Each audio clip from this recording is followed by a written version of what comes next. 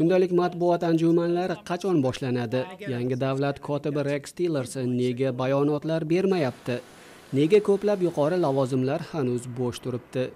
Jurnalistlar so'zlovchi mark tonerga shunday savollarni yog'dirdi. Toner esa vazirlik ishi ikkinchi darajaga tushib qolgani haqidagi qarashlar noto'g'ri dedi. Secretary Tillerson is very engaged with the White House, uh, very engaged with the president, uh, speaks to him frequently, uh, davlat kotibi tillerson o'q uy bilan yaqin aloqada prezident bilan tez tez muloqot qilib turibdi.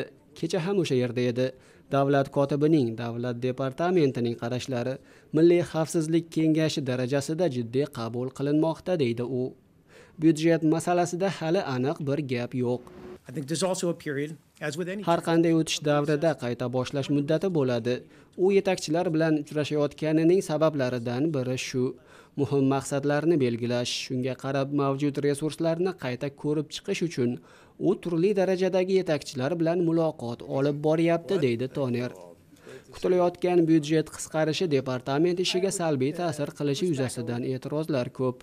Obama davrida demokratiya inson huquqlari va mehnat masalalari bo'yicha davlat kotibi yordamchisi bo'lgan tom malinovskiy o'z xavotirlarini um, bildirdi on paper at least, would slash State Department programs uh, by historic amounts. byudjet aftidan departament dasturlarini tarixiy miqyosda qisqartiradi isroil va misrga yordam kabi tramp nazarida tegib bo'lmaydigan dasturlar borligini hisobga olsak ulardan boshqa hamma narsa misli ko'rilmagan darajada qisqarishga yuz tutadi deydi u bunday byudjet kongressdan o'tmaydi deydi demokrat senator ben kardin We need to do more in Africa in promoting democracy. We need to do more in the Middle East. demokratiyani targ'ib qilish uchun afrikada qilishimiz kerak bo'lgan ishlar ko'p urushlar ko'paymasligi uchun yaqin sharqda yaxshi boshqaruv loyihalari ustida ishlashimiz kerak.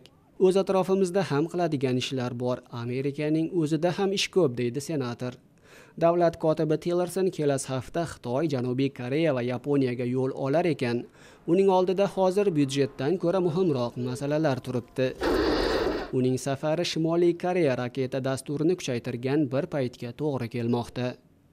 Behzod muhammadiy vashington